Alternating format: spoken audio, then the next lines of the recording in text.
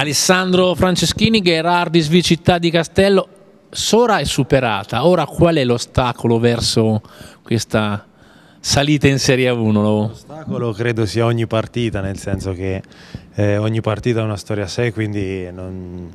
noi guardiamo di partita in partita come dalla prima di campionato, non ci aspettavamo tutto questo, penso nessuno onestamente perché sentiamo parlare di grande squadra, grandi nomi, Ora che uno è primo allora è più facile dirlo, ma in realtà siamo partiti con umiltà e credo sia stata fatta una bella squadra, il merito va molto a Valdemaro, Radici, però credo anche che ci sia una componente di fortuna no? che conta tanto quando uno mette insieme tante teste e ci siamo ritrovati molto bene, tutti bravi ragazzi, non c'è uno che sovrasta l'altro è piacevole, quindi allenarsi così è tutto più facile.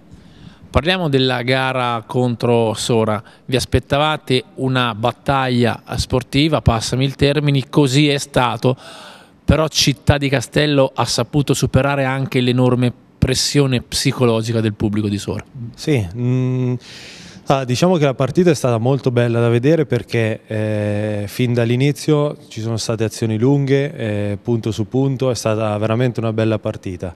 Eh, dico la verità, mi aspettavo forse un po' più di difficoltà data dal pubblico, invece così non è stato, abbiamo incontrato campi come per esempio Ortona, molto più difficili eh, come entusiasmo, io mi aspettavo un entusiasmo molto più grande anche perché per loro era una partita diciamo, eh, importantissima anche per noi ma alla luce del fatto della loro precedente sconfitta era un dentro fuori mettiamola così. E mi aspettavo qualcosa di più da parte del pubblico. I giocatori loro hanno giocato bene eh, però bisogna ammettere che quando noi giochiamo al massimo c'è poco da fare. Vediamo se sei preparato. Prossimo turno contro? Corigliano altro ostacolo, ma a questo punto lo possiamo dire, il Mortirolo lo abbiamo superato, ora c'è da non farsi male in discesa Alessandro. Sì.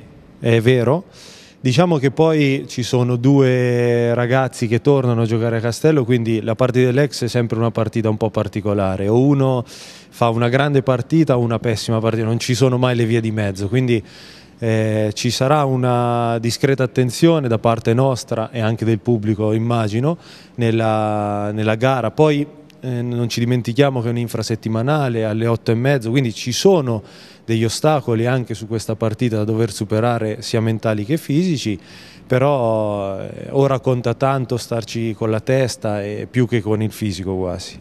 Città di Castello farà la corsa su Città di Castello, è giusto? Sì, Diciamo di sì, anche perché ora non ci nascondiamo dietro un dito, è tutto nelle nostre mani. Eh, forse lo è stata fin da, dalla partita contro Ortona, perché eravamo pari merito e da lì siamo andati via, però sì, dipende da noi ora, sì, non ce lo nascondiamo.